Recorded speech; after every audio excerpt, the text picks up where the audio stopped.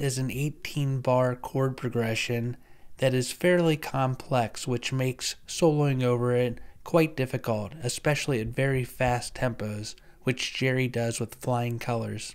The song is in the key of A and features uh, a number of non diatonic chords, chords that are found outside the key of A major. It starts off with a two bar intro that, depending on the show, can be repeated just a couple times or it can be, re- can be vamped on for quite a while. Next, we have the verse. The verse starts with one bar of A, then one bar of C sharp 7, then we have a half a bar of F sharp minor, a half a bar of A, a half a bar of D7, and a half a bar of E flat diminished 7 or D sharp diminished 7. Note that E flat diminished 7 and D sharp diminished 7 are the same chords, it's just an enharmonic spelling, which means a different spelling for the same set of notes. Then we have a bar of A, another half bar of A, a half bar of F sharp, then we have a full bar of B and a full bar of D. All right, the next four bars are a repeat of the first four bars of the verse. And then we have what is officially the chorus, which is one bar of A, half a bar of G, and a half a bar of D, and those two bars are repeated. Then we have two bars of A, which serve as an interlude between the chorus and the next verse, and these two bars are present during the solos as well. Alright, in this lesson we're going to take a look at Jerry Garcia's solo from Deal from the Cornell 5877 show. This is the first part and we're taking a look at the first chorus, but once we're done with this series we're going to have all three choruses down. Alright, as much fun as it is to learn and play this solo, it's even more important that you learn from the solo. So once you get this down, you know, after after some time, chances are you won't remember the solo any longer, but you will remember the concepts as long as you internalize them. So that's really what we want to do as we walk through this solo.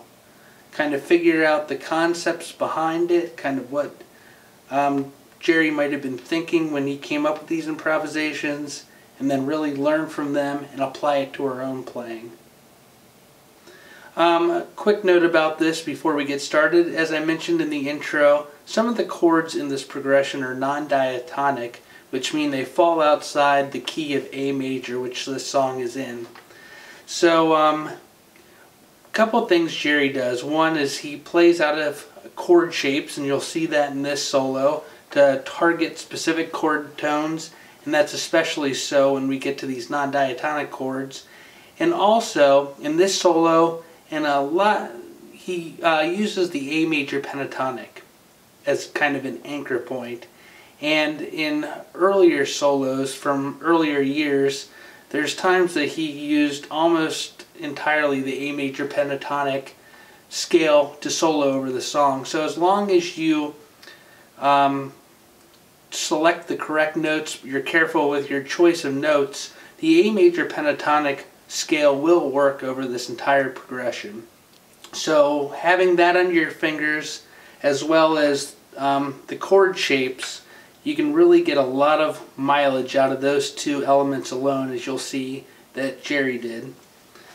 Alright, so we're starting off in the, um, we're ninth position and we're kind of out of this A shape. We're starting on the, um, we're beginning on an A chord, and if you take a look at this uh, C-shaped CAGED shape, we have our A chord, and also look at the A major pentatonic right there. We can start here on the 12th fret of the 5th string,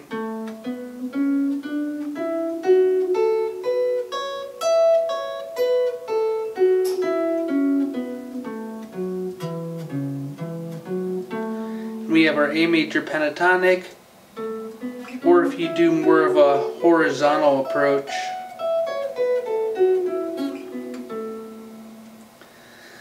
So with that in mind, we're starting off on the end of three. So we have one, two, three. So these are the notes out of the A major pentatonic scale. So we're starting on the ninth fret of the third string, that's an E, the fifth of A. Then we're pulling off from the 11th fret to the ninth fret of the third string, playing the 11th fret of the fourth string, C sharp, that's the major third of A. You can see that A chord. Now this next chord is a C sharp 7. And this is one of our non-diatonic chords. So what Jerry's doing is he's um, targeting chord tones. Alright, let's take a look at a C sharp 7 arpeggio. We're starting on the 9th fret of the 6th string, 8th fret of the 5th, 11th fret of the 5th string, 9 to 11 on the 4th, 10th fret of the 3rd, 9 12 on the 2nd, and then 9 13 on the 1st.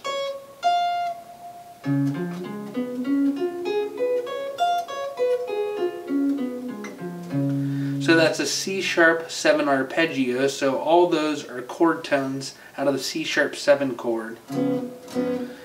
So he hammers from the 9th fret to the 10th fret of the 3rd string, that's the flat 3rd to the major 3rd. Then he plays the 9th fret of the 2nd string, that's the 5th. Then he descends down the uh, C sharp 7 arpeggio, so we have, we're playing the 5th, the 3rd, the root, and then the flat 7. So that's 9th fret of the 2nd, 10th fret of the 3rd, 11th fret of the 4th, 9th fret of the 4th. So, so far we have this. One, two, three.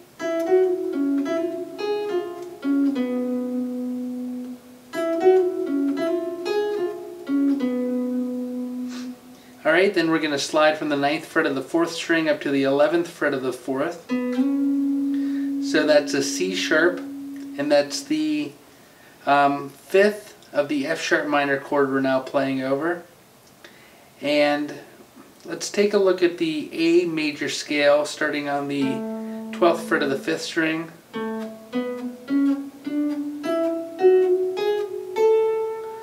So that's 12th fret of the 5th, 9, 11, 12 on the 4th, 9, 11 on the 3rd, 9, 10 on the 2nd.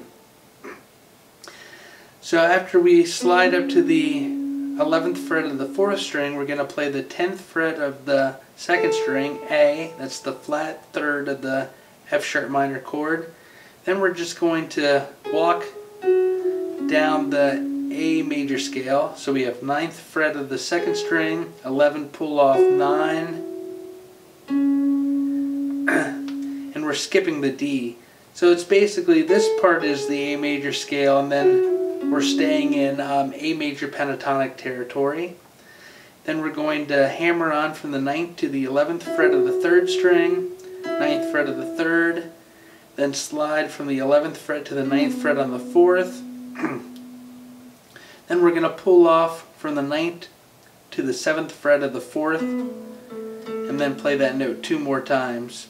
So that is a major pentatonic. So this is what we have so far. One, two, three.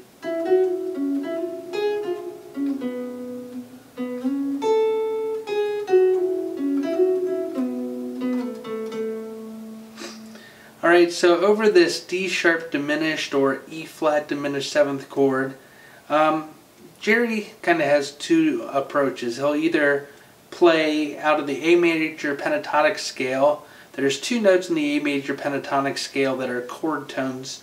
That's the um, A that we just played, and then the F sharp. So you can um, either just focus on those two notes or as we'll see later, he'll play the arpeggio. So here's an E flat diminished 7 or D sharp diminished 7 arpeggio. That's the 13th fret of the 4th string, 11th fret of the 3rd, 10, 13 on the 2nd, and the 11th fret of the 1st.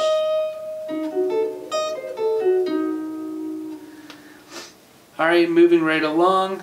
We're still out of the A major pentatonic scale. We're going to hammer on from the 7th to the 9th fret of the 5th string. and then the 7th fret of the 4th string, so we have then we play the 7th fret again of the 4th string, but this is, note is played, it's kind of a ghost note, it's played lighter, not as loud as the last note. Then we're going to slide from the 9th to the 11th fret of the 4th string, play the 9th fret of the 3rd string twice, the 11th fret of the 4th. Then we have the 10th fret of the uh, 2nd string, 11 pull off 9 on the 3rd, 11th fret of the 4th. And then we're going to, now we're over an F sharp major chord. So we're going to slide from the 9th fret, I mean the 10th fret of the 3rd string up to the 15th fret and then play the 14th fret of the 2nd string. So that's targeting the 3rd and the 5th of an F sharp major chord. And that's what I believe Jerry intended to do. What he actually did was slide up to the 16th fret of the 3rd and hit the 16th fret of the 3rd and the 15th fret of the 2nd. So he just overshot it by a fret. But, you know, the goal of this, learning this solo, is not to, you know, recreate his, you know, mistakes, but to learn from it. So that would make sense is to play the uh, third and the fifth of an F sharp major chord. All right, so let's take a, let's listen to those two bars. We have one, two, three, four.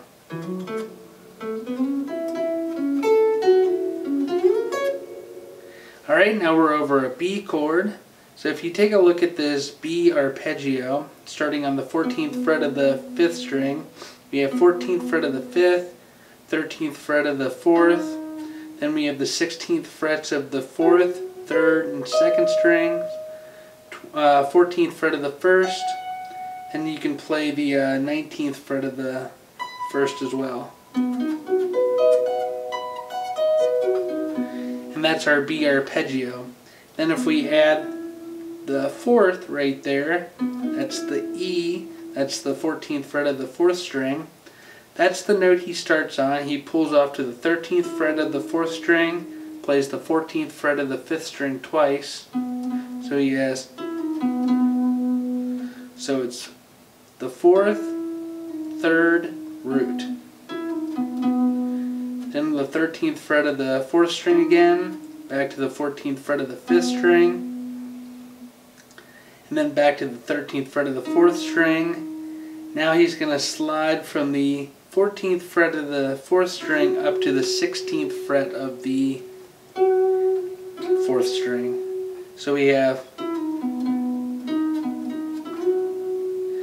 Alright, so now we're playing over a D chord. So if you take a look at this shape right here, based off of that C CAGED shape, see a D chord.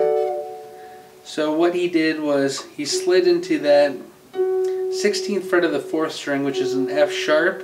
That's the uh, 5th of B, but now it's the major third of D. And now that we land on a D chord, beat 1, he starts off with the root, so that's the 15th fret of the 2nd string, back to the 16th fret, so that's the root to the major third, then again root to the major third. Second time, he doesn't quite hit the note, it's more just a muted note and then he's going to slide from the 13th fret of the first string to the 14th fret so the flat third to the major third and then the root 15th fret of the second so we have so B to D sounds like this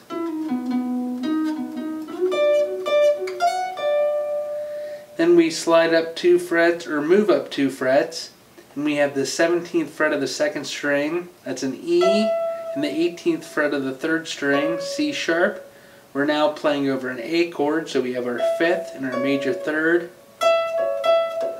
So again, we play 17th fret of the second to 18th fret of the third, and we do that twice. The second time, again, it's kind of a muted note. Then we have the 17th fret of the second string twice again. Then we're going to slide from the um, 18th fret of the third string to the 16th fret and then pull off to the 14th. So that is the A major pentatonic scale. So those two bars sound like this, or that one bar sounds like this. Alright, now we're over a C sharp 7 chord. So again, if we look at this C sharp arpeggio, what Jerry does is slides from the 9th fret to the 11th fret of the 4th string, so that's the flat 7 to the root.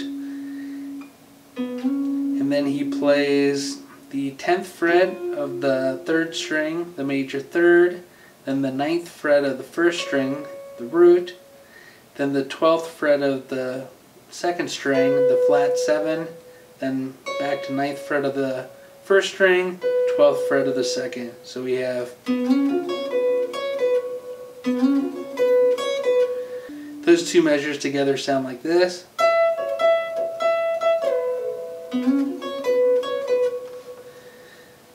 Alright, now we have our F sharp minor, A, D7, E flat diminished 7 progression.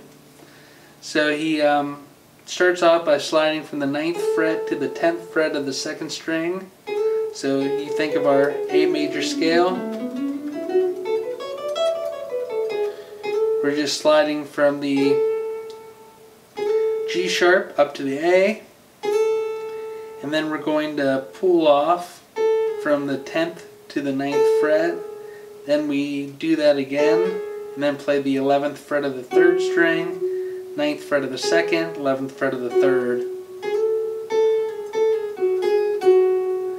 Then we have 9th fret of the 3rd, 11th fret of the 4th, 9th fret of the 3rd, 11th fret of the 4th, slide down to the 9th, pull off to the 7th.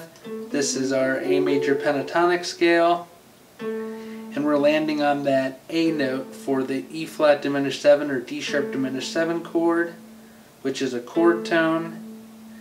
So we have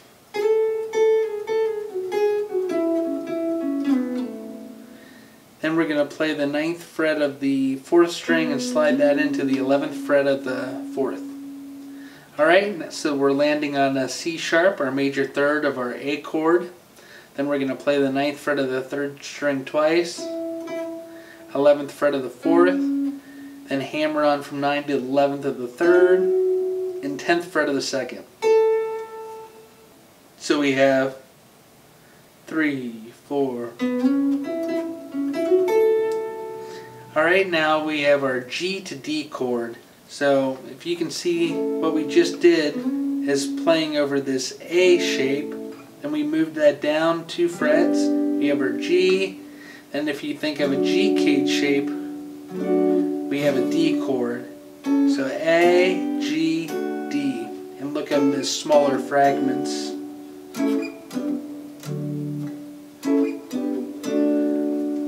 So we have, we're going to play,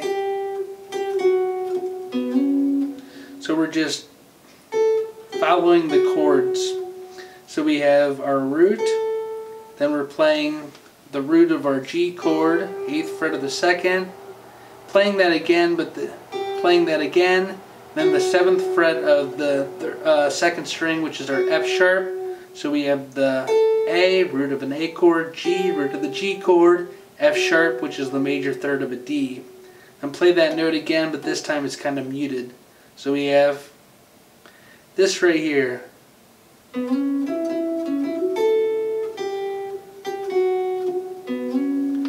So then the ninth fret of the fourth, slide to the 11th fret of the fourth. So again, we're playing over an A chord. We have our major third to our root. Then we have the 10th fret sliding into the 11th fret of the fourth string. Then 10, 11, and the 9th fret of the third string twice. Then we have the 10th fret of the second string, 12th fret of the fourth, 12th fret of the third twice, and the 11th fret of the third. Then 11, 12, 13. Then we're going to land on the 14th fret of the third string, which is an A. So this is what we have.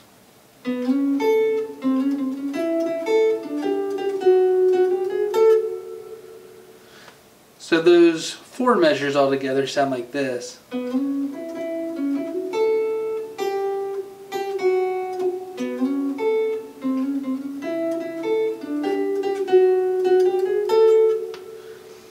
Alright, so now we have our two measure A interlude. So we just landed on our A, our root. Then we're going to slide from the 12th to the 14th fret of our third string now we're changing positions, so we're sliding with our index finger, and we're sliding from the flat 7 to the root. Then we have the 14th fret of the 4th string, which is our E, our 5th. Then the 15th, hammer onto the 16th of the 5th string, so that's our flat 3rd to major 3rd, and then our 14th fret of the 4th string. Then we're going to pull off from the 16th to the 15th fret of the 5th string, and then pull off from 15th to 14th and slide to the 12th, then play the 12th two more times, and then we're going to play the 14th fret of the 3rd string, and then slide that into the 18th fret, which will be the first note of our second chorus, and that will be in the next part. So those two measures sound like this.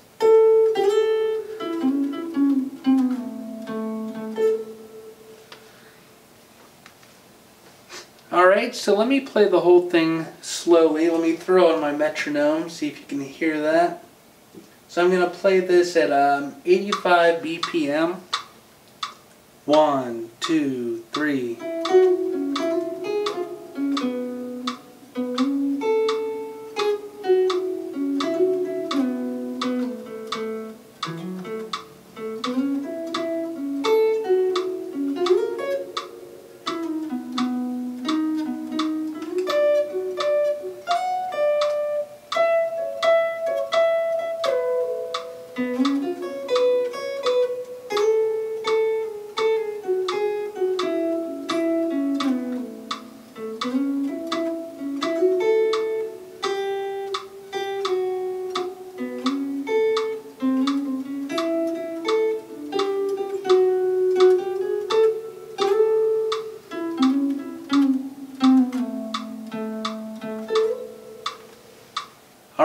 Hope you enjoyed this part. Can't wait to see you in part two.